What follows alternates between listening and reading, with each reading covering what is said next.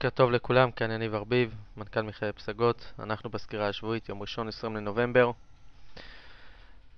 טוב, אני אמשיך איתכם כהרגלי מהסקירה הקודמת. בסקירה הקודמת אה, ניתחתי את ה-S&P, התחלתי לנתח אותו ברמה השבועית. דיברנו על זה שה-S&P שבר את אה, ההתנגדות 1218 במשך, אה, זה מה שאתם רואים פה, ההתנגדות שאתם רואים בקו המקווקו, ובמשך 1, 2, 3, 4 שבועות לא עלינו, אבל הצלחנו לשמור uh, על הרמה.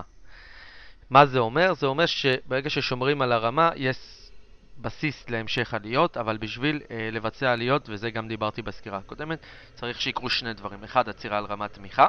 שתיים, שבירה של רמת התנגדות.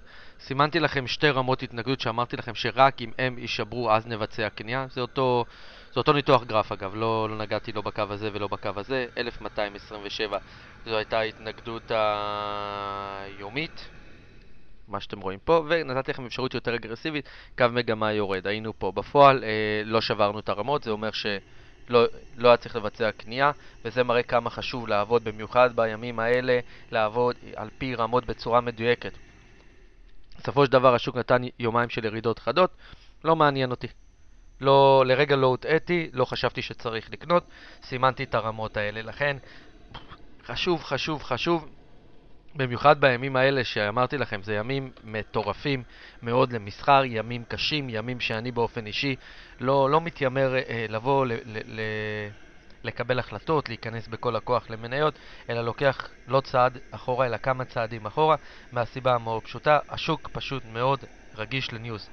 כל הודעה הכי קטנה, ספרד, ספרד הנפיקה אג"ח בצורה כזו, איטליה הנפיקה אג"ח בצורה, התשואה טיפה עלתה על האג"ח, טק 2% ירידה ביום, ככה אי אפשר לעבוד. אה, על כמה שאפשר עובדים טכני, אבל אה, לא בושה, וזו החוכמה של סוחר, גם לדעת אה, מתי להתאפק ולקחת צעד אחורה. אין מה לעשות, הבורסה תהיה תמיד. התקופה הזו תעבור, וצריך לעשות אותה ולעבוד בתקופה הזו בצורה הכי שקולה והכי זהירה שיש, וזה מה שאני בוחר לעשות אה, בימים האלה.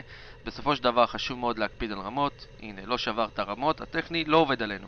השוק קשה, אבל הטכני לפחות לא סיפק איתות קנייה ואז קיבלנו ירידה. קו מגמה היורד הזה. ברמת ההתנגדות 1227 שאמרתי לכם שרק אם, אה, רק אם הם יישברו אפשר לחשוב על קניית מניות, לא נשברו. הטכני לפחות לא עובד עלינו. השוק קשה, קשה. אבל לפחות הטכני מראה את הקושי. לגבי אה, המשך אולי כיוון של ירידות, אז יש לנו פה רמת תמיכה שהיא הייתה 1218, שזו התמיכה החשובה, יש לנו גם את הנמוך של הנר הזה, 1215, אתם רואים?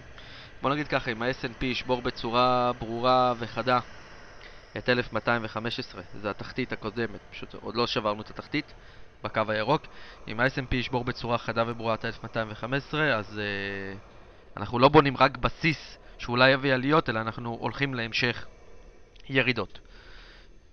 לגבי תל אביב 25, אין יותר מדי מה לדבר, אמרתי לכם, לחשוב על קניית מניות רק בשבירת 1132, ברור שהוא לא נשבר, כי אה, השוק האמריקאי אה, ירד ואנחנו הולכים בעקבותיו. יש לנו פה רמת תמיכה מאוד מאוד חשובה, מאוד, היא גם רמת תמיכה של פער. רמת תמיכה מאוד אה, מאוד אה, חשובה, 1,074 נקודות, רמת התמיכה 1,074 נקודות בשוק הישראלי.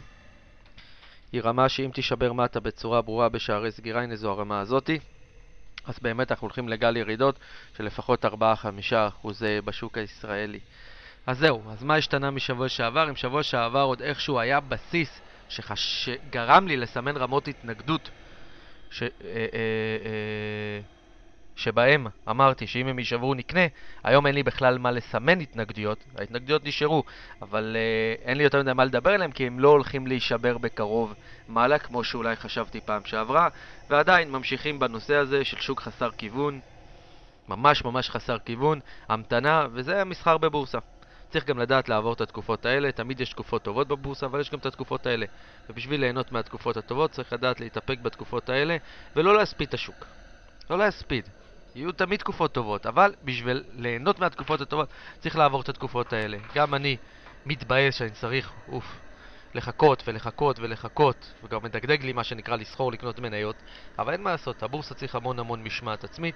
תקופות כמו אלו, שהניוז שולט לחלוטין, אה, גורמות לי להבין, אני את הכסף שלי שומר, אני אגרום לו להרוויח בתקופות שיהיה כיוון. בתקופות כאלה, לא בושה לקחת צעד אחורה. מאוד מאוד מאוד חשוב המשמעת העצמית בתקופה הזאת. שיהיה לכולכם בהצלחה, נתראה ביום רביעי.